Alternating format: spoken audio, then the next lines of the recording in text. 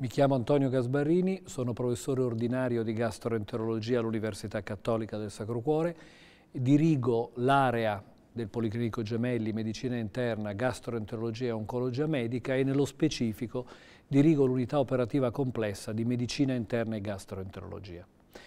L'area che dirigo è un'area molto complessa, è chiaro che mio, la mia mission è quella di sviluppare la gastroenterologia o per meglio dire tutto ciò che ha a che fare con le malattie dell'apparato digerente. L'area che eh, abbiamo messo in piedi nel nostro Policlinico Gemelli è un'area molto complessa. Pensate già i nomi, medicina interna, gastroenterologia e oncologia medica.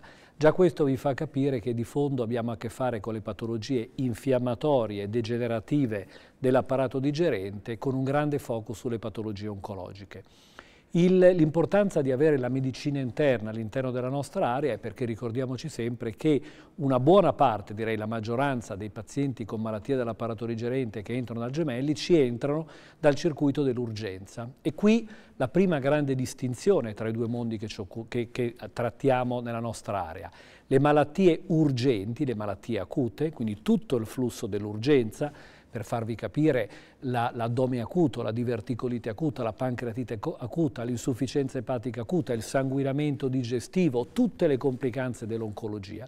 E dall'altra parte tutte quelle che noi chiamiamo patologie elettive, cioè in qualche modo tutte quelle patologie che ci caratterizzano e che sono le patologie che colpiscono tutto l'apparato digerente e quindi le patologie dell'esofago, dello stomaco, del tenue, del colon e le patologie dei cosiddetti organi accessori dell'apparato digerente, tra tutti il fegato fegato e il pancreas. Per darvi un'idea dei numeri delle patologie di cui noi ci occupiamo, calcolate che si stima che il 30% di tutte le persone che entrano nel Policlinico Gemelli c'entrano per patologie dell'apparato digerente, quindi non c'è dubbio una grande branca specialistica molto molto variegata perché ha a che fare con l'acuzia e con la cronicità, con l'infiammazione, con la degenerazione e con l'oncologia. Che cosa abbiamo voluto fare e perché il Gemelli è unico nel panorama non italiano ma nel panorama europeo per questa grandissima propensione a occuparsi di malattie dell'apparato digerente? Solo i numeri. Calcolate che nell'area medicina interna, gastroenterologia e oncologia vi sono all'incirca 230-240 posti letto, ci lavorano più di 100 medici e più di 350 infermieri. È un'area un molto molto importante proprio perché deve toccare qualsiasi area della gastroenterologia. A differenza di molte altre strutture, noi non abbiamo fatto scelte, non siamo noi che diamo un'offerta formativa a cui si devono adeguare i nostri pazienti, ma noi, volendo proprio anche in qualche modo mettere al centro di tutto il percorso la massima personalizzazione delle cure, che ricordiamoci è lo scopo della nostra fondazione, del nostro IRCCS, Istituto di Ricerca e Cura a carattere scientifico, è quella di personalizzare al massimo il nostro approccio. Cioè noi che cosa abbiamo fatto? Abbiamo, partiamo dai sintomi, che tipo di disturbo ha una persona, perché ricordatevi che una persona non va in un ospedale ospedale perché ha una malattia. Una persona va in ospedale perché ha un sintomo, un disturbo. Noi cosa abbiamo fatto? Partendo dai disturbi abbiamo voluto sviluppare tutte quelle patologie che erano causa di quel disturbo. È un po' un percorso fatto al contrario e questo lo facciamo sia nell'acuzia che nella cronicità. Poi cosa abbiamo sviluppato? Abbiamo sviluppato tutte quelle aree che in qualche modo diciamo adesso sono trendy o vanno di moda. Pensiamo a, alle malattie infiammatorie croniche dell'apparato digerente, pensiamo alle conseguenze conseguenze dell'epatite C. Io dico vanno di moda perché abbiamo una fortuna in medicina, che esistono aree dove a un certo punto arrivano farmaci nuovi e innovativi. È chiaro che abbiamo sviluppato queste aree. Però cosa abbiamo voluto fare? Abbiamo voluto anche sviluppare quel qualcosa a cui spesso non c'è risposta, e cioè abbiamo sviluppato quelle aree della medicina dove non ci sono a volte case farmaceutiche dietro. Abbiamo sviluppato in modo incredibile il mondo delle malattie rare, non c'è nulla generalmente dietro le malattie rare fare. Ci sono un sacco di singoli pazienti che devono essere presi in carico. E quindi se vogliamo fare una carrellata di come si sviluppa il percorso del paziente, credo che può essere molto interessante per chi ci sta ascoltando pensare a come è sviluppato il cuore della gastroenterologia della Fondazione Policlinico Gemelli, che parte da un luogo fisico, che si chiama CEMAD, che vuol dire Centro Malattie dell'Apparato Digerente, o in inglese Digestive Disease Center. Quando voi entrate in questo centro, e abbiamo la fortuna di avere un eccesso laterale dall'ospedale, cioè si riesce anche a evitare in qualche modo l'ingresso attraverso il, la main entrance, l'ingresso principale dell'ospedale, c'è un ingresso laterale sulla sinistra direttamente su strada. Quando voi entrate in questo centro malattie dell'apparato digerente o CEMAD, troverete per prima cosa una struttura che si chiama Nutrition Hall e cioè sala d'attesa dedicata alla nutrizione. Questa sala che ha circa 150-200 sedute, quindi è confortevole, ha un numero sufficiente di posti in cui sedersi, è dotata in tutte le sue pareti di schermi multimediali, alcuni touchscreen, che mandano in continuazione sia interviste ai medici che lavorano in quella struttura, sia dei filmati educazionali che spiegano ai soggetti perché vengono le patologie dell'apparato digerente e soprattutto spiegano l'importanza di terapie integrate.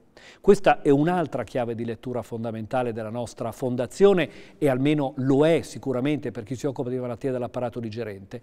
Noi non siamo interessati agli organi malati, ma siamo interessati alla persona malata. E per dire ancora di più, siamo interessati al contesto in cui cresce una persona malata e siamo interessati alle modalità con cui quella persona è cresciuta ed è stata educata nei primi dieci anni della vita. Perché? Perché si è vista che tutta la cronicità parte da un qualche cosa che c'è successo nei primi dieci anni di vita, quel qualcosa che si chiama l'imprinting delle fasi post gravidanza o le fasi cosiddette di winning, di svezzamento, di post winning o early childhood, i primi 5, 6, 7 anni di vita di una persona. Ma uno potrebbe pensare, ma cosa c'entra tutto questo con le malattie dell'apparato digerente? Beh, dobbiamo innanzitutto pensare che noi, in qualche modo che ci occupiamo di gastroenterologia, siamo di fondo anche dei neuropsichiatri dell'apparato digerente. O meglio ancora, siamo dei neuropsicoimmunologi dell'apparato digerente. Non so quante persone sanno che il sistema immunitario vive quasi tutto in maniera residente nell'apparato digerente, proprio perché questo organo, lungo 9 metri, pieno di tantissime funzioni, tra tutte quella digestiva, deve proteggerci dagli invasori esterni. Cosa c'è di migliore per un invasore, per un batterio, un virus, un micete dell'apparato digerente? Un organo lungo 9 metri, buio, con un sacco di nutrienti, dove tutti i giorni entra acqua e cibo, una zona straordinaria per crescere. Beh, in qualche modo il nostro apparato digerente e il buon Dio che cosa hanno fatto? Hanno fatto popolare questo apparato digerente di una comunità microbica di oltre un chilo di batteri, miceti e virus, che ci colonizza e lavora con noi tutta la vita. Però qual è il problema? Questo microbiota intestinale è la parte variabile del genoma umano. È quel qualcosa che ci differenzia, che differenzia tutti noi. Noi in Italia siamo identici al 99.99% per quanto riguarda il DNA, ma siamo diversi all'80% per quanto riguarda il DNA di questi batteri che vivono nel nostro apparato digerente. Qui stanno le differenze. E questo microbiota colonizza il bambino nei primi 4-5 anni di vita. Quando? Quando il bambino ha bisogno di geni additivi per sopravvivere. E quindi se il bambino cresce in un contesto difficile, due genitori che litigano in continuazione, un padre violento, magari con problemi di dipendenze, enormi problemi economici che vanno a impattare sulla qualità di vita e sulla felicità di quella famiglia, quel bambino si attrezza con un genoma microbico infiammatorio. Quel genoma microbico infiammatorio non ci abbandonerà mai più. È il cosiddetto core microbiota che è in grado di attivare il nostro sistema immunitario. Se qualcosa ci succede a 20, 25, 30, 35 anni, quel core microbiota è in grado di attivare malattie autoimmuni e in parte è anche in grado di spiazzare il sistema immune che non è più in grado di riconoscere una cellula tumorale in crescita. Quindi in qualche modo la maggioranza delle malattie croniche hanno un imprinting durante i primi anni di vita. Questo è il motivo per cui chi viene al Policlinico Gemelli, troverà un team multidisciplinare. Non è un caso che nella nostra area non abbiamo solo grandi clinici dell'apparato digerente, grandi endoscopisti, grandi ecografisti, grandi radiologi, grandi anatomopatologi. Abbiamo due componenti fondamentali della cosiddetta medicina integrativa, lo psicologo e il nutrizionista. Sono quelle due figure che sono in grado di aiutarci a comprendere come capire perché una malattia si è sviluppata. Non troverete mai una colite ulcerosa, un morbo di Crohn o una malattia celiaca o anche aree apparentemente non collegate all'apparato digerente. Pensate a una tiroidite autoimmune, a una sclerosi multipla, che non hanno avuto nei mesi precedenti a quella malattia un grande stress psicologico. Quell'attivatore, boom, che attiva il sistema immune che a quel punto comincia ad attaccare se stesso. In qualche modo quello che vogliamo fare con la nostra miriade di servizi e di attività diagnostiche che utilizzano le attrezzature più avanzate in assoluto, vogliamo prenderci non cura della patologia o del singolo organo, ma vogliamo prenderci cura della persona personalizzando al massimo le terapie. E come facciamo a personalizzarle al massimo? Beh, innanzitutto credo che abbiamo tra i migliori ragazzi che vi siano in circolazione. Molti sono cresciuti nella nostra straordinaria facoltà di medicina e chirurgia Agostino Gemelli dell'Università Cattolica, altri li abbiamo reclutati dall'esterno. Abbiamo in atto una policy di reclutamento dei migliori cervelli che ci sono in circolo.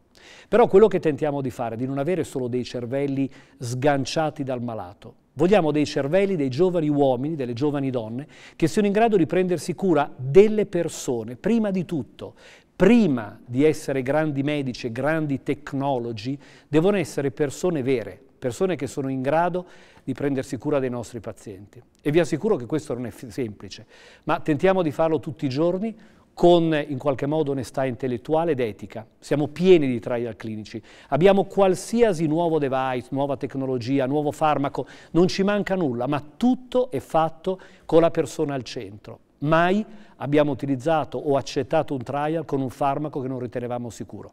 E credo che questo forse è quel qualcosa che possiamo dare in più. Curare le persone, ma curare innanzitutto in qualche modo il contesto in cui le persone crescono e tante volte non serve neanche dare dei farmaci, basta dare dei buoni suggerimenti ai nostri pazienti.